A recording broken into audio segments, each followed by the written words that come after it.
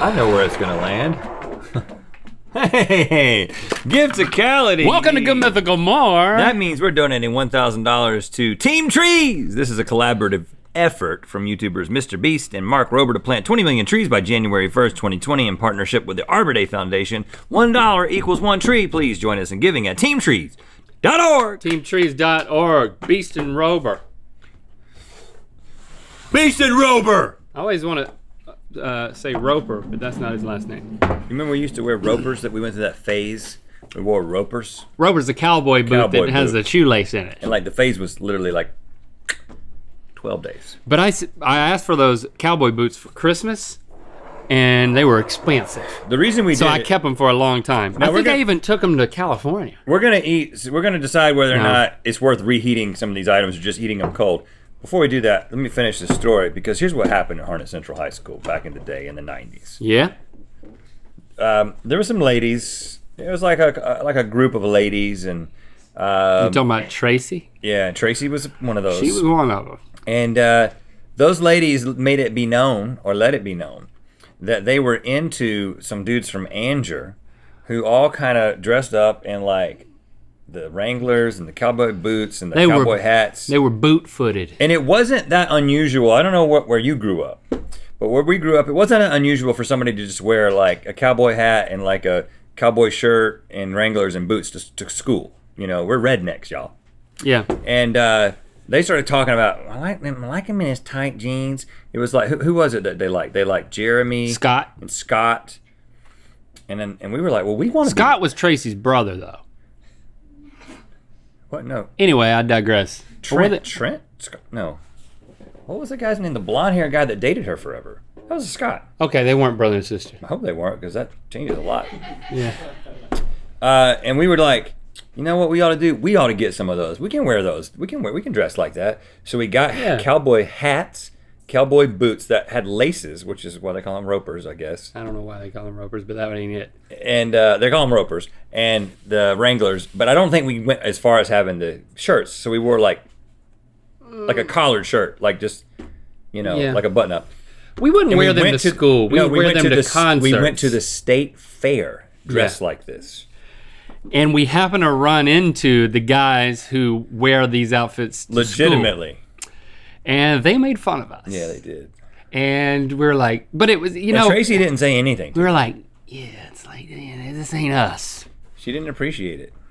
But I kept them for a very long time after that. I kept that. Cow- we wore those cowboy hats during a performance of the Wax Paper Dogs. What? That's right.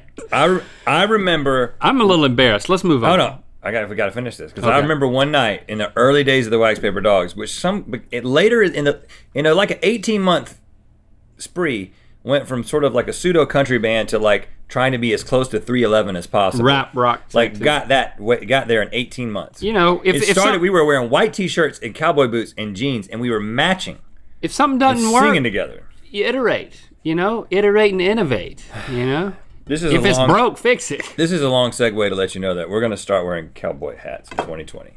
I wish I still had those boots. Um, when it comes to pizza, let's start there.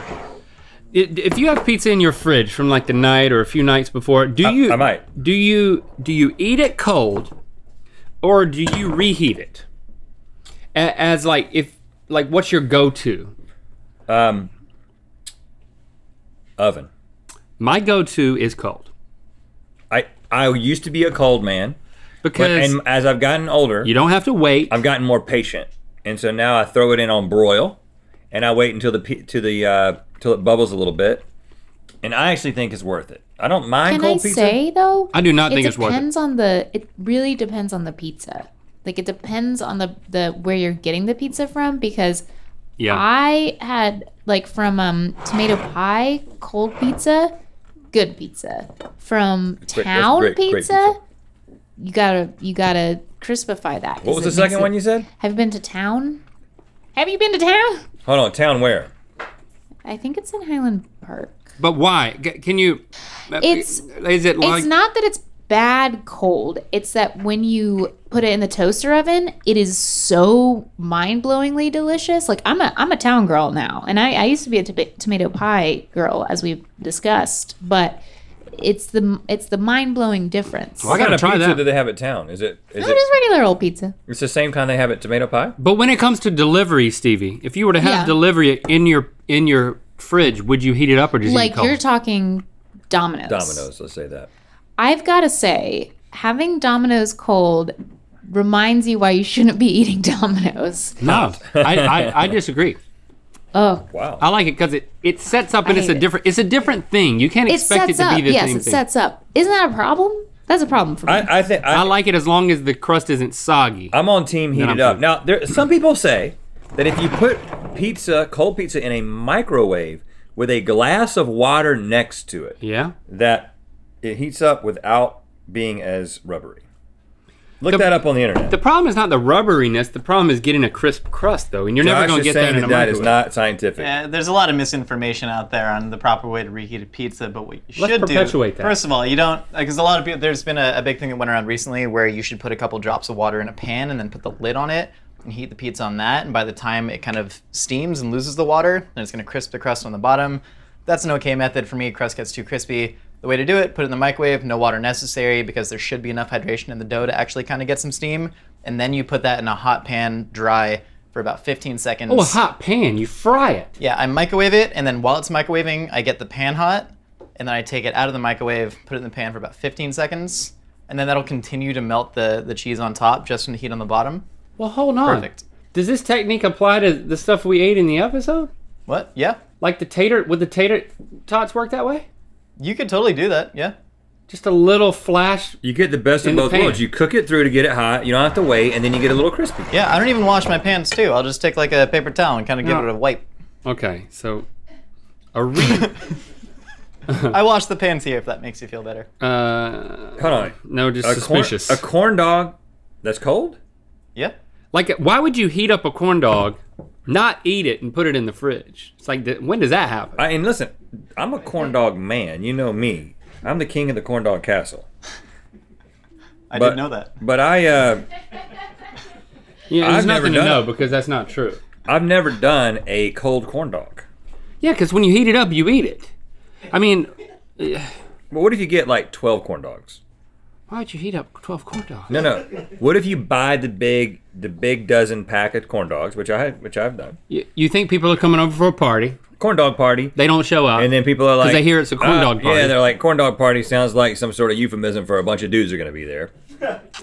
and so they don't, they don't show up, and you got extra corn dogs, but you're still hungry. What are you going to do? You're going to put them in the fridge. And then what are you going to do the next morning? Eat corn, eat cold corn dogs? No, 'cause- mm-mm. that's not that's not worthy. That's not worthy of mouth placement. No, Um, hold on, hold on a second. I don't like. I've never done this before.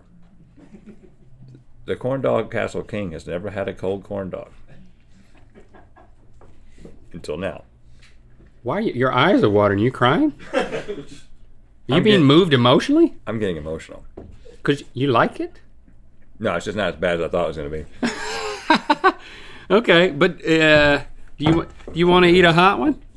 I know what a hot one tastes like. It's reheated. It's like kind of mushy, real mushy. It's okay though. Fried things need to be enjoyed hot out of the fryer. I mean, I just can't keep eating. I'm so full. well, then why Um, don't you grab that sushi? Seriously, sushi, sushi. now, thi- I just got to just be the first to say that um, this doesn't seem safe. Like, what? What is this? This is just leftover sushi. You Yeah. kind of dressed like the Joker if he had gotten help. Yeah, I'm. I'm on a path to recovery. Right.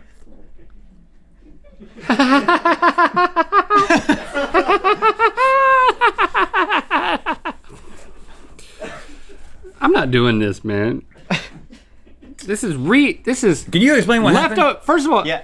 Well, so so leftover sushi this shouldn't is be a thing. based on real life experience for me. Okay, let's much hear about sushi that. for delivery. Um, and then I, sushi rice, as you know, as a connoisseur, is supposed to be a little bit warm when you eat it, and you taste the fish more when it's not fully, fully cold. So I tried to put it in the microwave just for a couple seconds, just to kind of get the chill off of it. Hmm. And then I, I had kind of ended up leaving it there for a bit, and it actually kind of partially cooked the spicy tuna. And I was hungry, and I just ate it. And now we're here. Well, do you want to eat this? Yeah, I mean, I I mean, been there, done that. So I mean, uh-huh. look at look at that. Yeah, that's fully cooked. I mean, both of them look awful. Yeah, and this is just leftover. That looks like How long is sushi acceptable to be left over? why are you looking at me? I mean, this looks like sushi that you had a sushi party.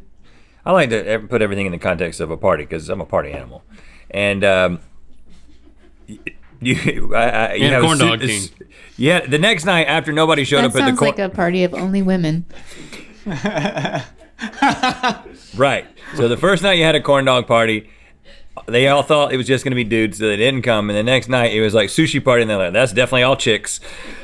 And so nobody came. And so Stevie, you, you, we give you credit for the joke though, even though you reset it. And so then uh, you're just then you throw it in the trash, and then you're taking the trash out the next morning, and it actually rips as you're taking it down the, the stairs because I had to take stairs out of my house to get to the trash can. Okay. And then this falls out, and then falls on the concrete of your driveway, and you don't see it because it's nighttime. You go back inside, you come out the next day, and the possums haven't gotten to this.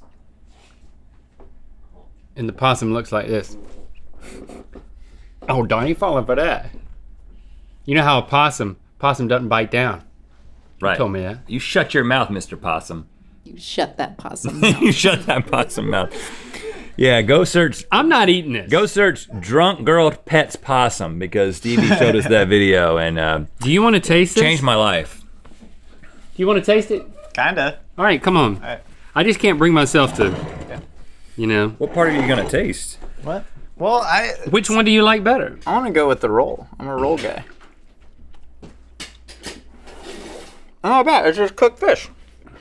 This might make you like sushi even more.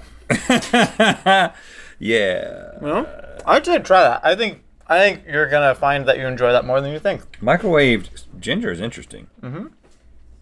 To smell.